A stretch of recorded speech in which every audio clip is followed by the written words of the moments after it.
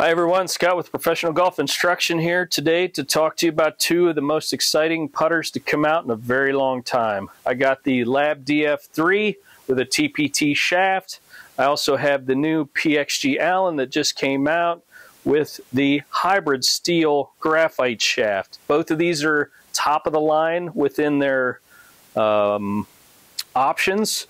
So all the upgrades you can get are in it. If you're sitting there thinking, boy, which one should I buy? I hear a lot of people talking about it. I'm just going to run you through it, give you a little better idea of the differences between the two, and then hopefully that'll help you make a good decision when you go to purchase one because let's be honest, both of these are pretty dang expensive. I'll start out first with the DF3. It's been around for a while now. It's got a lot of recognition from both tour players, amateurs, and the like and with good reason. The lie angle balance technology promotes the square impact position without needing to manipulate the club through the swing. So whether you have an inside to out, outside to in, or square to square stroke, the way the putter is designed and set up and balanced, it promotes a squarer impact position than your conventional Scotty Camerons, your AI technology, your Bettinardi's, center shaft, arm lock, I don't care what it is. These out of the box are supposed to be better. Now, I have not spent hardly any time putting with either one of these new putters. So this is a non-biased video to explain how a good putter, when I pick these up, how much better it makes me at putting. I can tell you with the selection of putters that I own, and it's unfortunately a few thousand dollars worth, maybe more.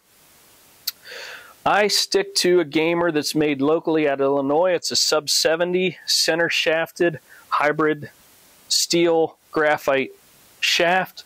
It's not an expensive putter, but man, can I roll the rock with this sucker. When I set up and hit a putt, typically I'm somewhere around 0.3 degrees open or closed at impact consistently. So I have my simulator set up. I hit a few putts, 0.4 degrees, not far off my norm. I spend a lot of time practicing with this putter. 0.5 degrees. And the last one, oops, that one moved before I hit it. Let me do one more. This is just to get a baseline. Okay, 0.1 degrees. So I had 0.1, 0.5, 0.4 degrees off center. That one was 0.8. All right, so let's go to the lab. The lab obviously should be out of the box better. You can go online, you can do a fitting yourself at home with a cell phone video up against a door jamb to get angles. You email it in, they'll come back to you and they'll say, hey, you need uh, 69 degree, 71 degree shaft angle and a 35 inch length, whatever the case. You can custom fit it for free online. They email you back in a day or two, and then you can even go on to the lab site and order or get lucky and go to the outlet and pick up one that's slightly blemished. You can hardly tell in most cases, save you a couple hundred bucks. But this one out of the box, like I said, I haven't spent a lot of time putting or practicing with it. Let's just see how much different the impact is. That one didn't register. Let's do another one.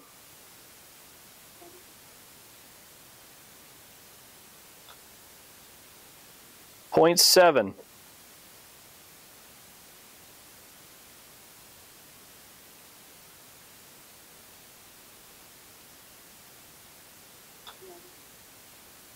Point two.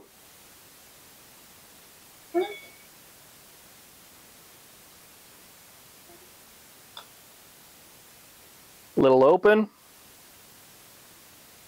On the forums, when they talk about the balls being missed to the right. I see a lot of people saying, I bought one, I used it for a little while, I missed all my putts right, I didn't like it, I got it for sale.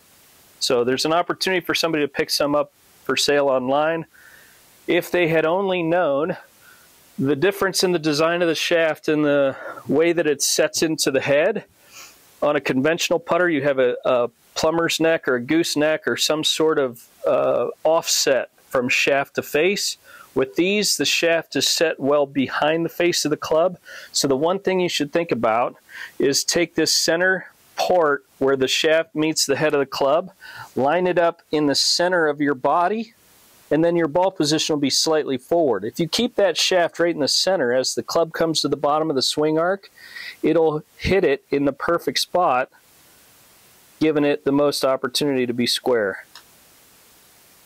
0.3 degrees, I'll hit one more.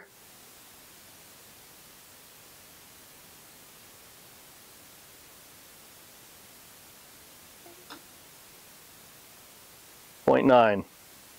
So not a big difference from my current gamer to the lab, just in those short couple of putts. Let's go to the PXG Allan. PXG Allan, little different setup. When you look down on top of this, you can see the sight line all the way across the front. The shaft doesn't impede at all with the lines on top when you're looking at the ball. So if you like to putt with a triple track ball, put a line on your ball, use the label, this sets up really nice and you see a clear continuous line from both through the putter and through the ball. So I do like that. Also, it sets up kind of like a Scotty Cameron. When you look at the design, it's very similar. So it's not rounded up. You don't have to use any imagination. It really squares up nice. You feel as if you're pointed in the right direction straight away. So let's see how it works out. Point two has a small opening in the bottom to where you can pick the ball up with it. Same with the DF3. DF3 has that circle in it. You just tap it down and it'll pick the ball up. Again, shaft should be centered with the body. At the bottom of the swing arc, 0.6.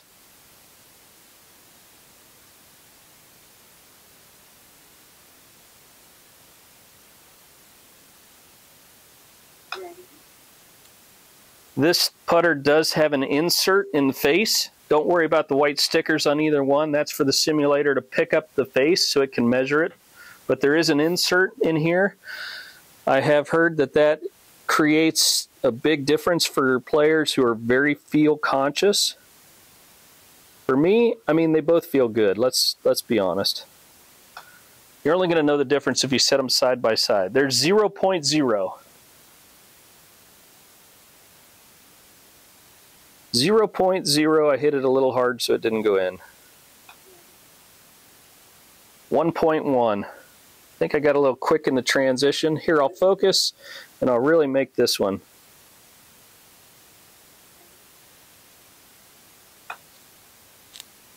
Point 0.3. Oh, a little hard. This one tends to be a little faster, I would say, in the ball coming off the face. So if you're one that struggles with leaving your putts short, the TPT shaft is light, that head is a little heavy to compensate, the grip is a plus three, so it's heavier to compensate. If you buy one off the rack with the steel shaft out of Golf Galaxy, that'll be a naturally heavier putter. It should be easier to get that ball to go the distance you want. You can always check out my book on Amazon, The Tour Putting System. It's an e-book. It's less than 10 bucks. It's under 50 pages. You could read it in about a half an hour, and all it talks about is how to hit the ball whatever distance you want.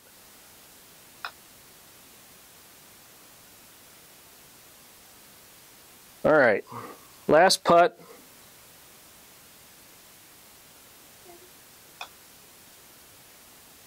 Point three. Overall, I was able to get a 0.0 with this. My best putt with the lab was 0.3 squared impact.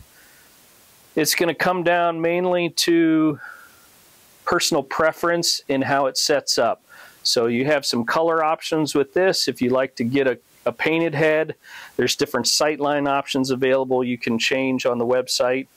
Uh, the shafts, there's a lot of customization you can do with one of these, these putters what I find is that you almost have to use one for a little while to figure out what those options do for you. So if there's a way you could go to maybe a Golf Galaxy that has two or three or four of them and you can putt side by side, you might be able to narrow that down. But listen, if you if you're new to lie angle balancing or zero torque putting and you haven't explored any of these options, you can't go wrong. I would take either one of these two and before I took any of those all day long, without a doubt. And like I said, I've only putted with them for less than a week. Um, and I haven't even had them outside. So just picking them up, just taking the feel of the club, the look of the club, the science behind it, setting up on my simulator and seeing that there's no negative, there's no putts that I hit with these that I thought, oh my gosh, where did that come from? Yet, if I don't hit a traditional putter perfectly in the center of the face, I'm off maybe up to two degrees. Those, you don't have that. I mean, it's, it's plug and play. So, in conclusion, PXG runs about 500 bucks. Labs, you can get them 500 bucks and up. About the same price point to start. Pick them both up, feel them. They're about the same weight, about the same look. Results are about the same. It's all going to come down to the way your eye lines up to the target over the ball. Do you like to see the sight lines or would you prefer more of a non-conventional let's focus on the line itself on the grass and the hole and the intended direction that you want to hit it out in front of the ball. A lot of people like to focus on behind the ball and the club itself. I mean, I bet if I hit this one-handed, I could get it pretty dang close. Either one. That was 0.8 degrees.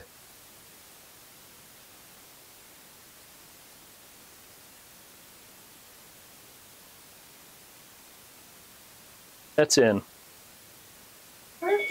One-handed. I mean, it's like cheating. One-handed. 0.5 degrees. I didn't even try to hit the path right.